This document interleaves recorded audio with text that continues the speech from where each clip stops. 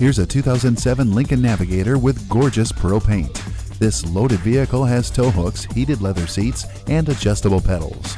It also features wood grain interior trim, a navigation system, and a DVD video package. And with a vehicle anti theft system and the balance of its factory warranty, it won't be here long. Come in for a test drive.